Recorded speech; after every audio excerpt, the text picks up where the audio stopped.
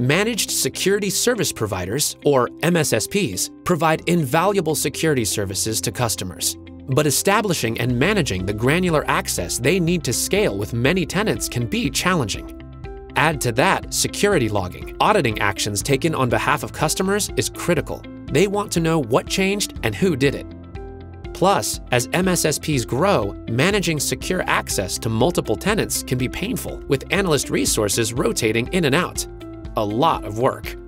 Role-based access control, or RBAC, in Microsoft Defender for Endpoint, combined with identity governance in Azure Active Directory, provides an elegant solution. Customers can provide granular control over Defender for Endpoint, set expiration rules, require approvals to join, and delegate partial administrative access, so MSSPs can add and remove additional resources in the customer's tenant when needed. There are three stages in this process, and the first is for customers' global or user admins to create security groups in Azure AD and delegate role-based access to those security groups in Microsoft Defender for Endpoint. Most MSSPs will use a second Azure AD domain to service customers, separate from their authentication domain. These steps assume you've already set that up.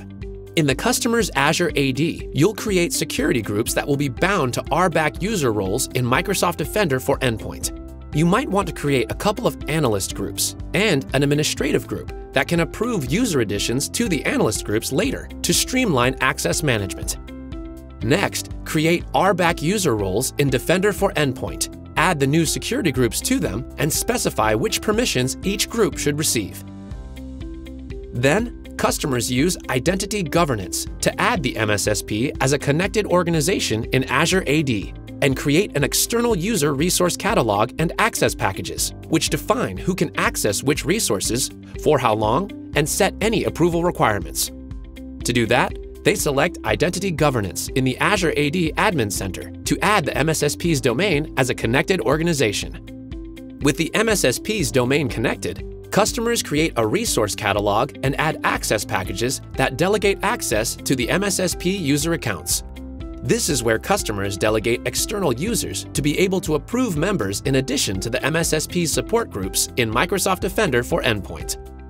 Last, Customers provide the My Access portal link, which corresponds to the access package. From there, the MSSP employees can request access. Once a customer approves, they'll have access to the customer's tenant with the specified permissions. They simply copy the My Access portal link and share it with the MSSP. MSSP employees will then navigate to the My Access portal, provide their justification, and submit their request. Reviewers will find the request in the Approvals section of the My Access portal. The result will be less ongoing access-related overhead for the MSSP and the customer. We've provided just a quick introduction to delegated access for MSSPs in Microsoft Defender for Endpoint. For more information, including detailed instructions, see the Defender for Endpoint Tech community.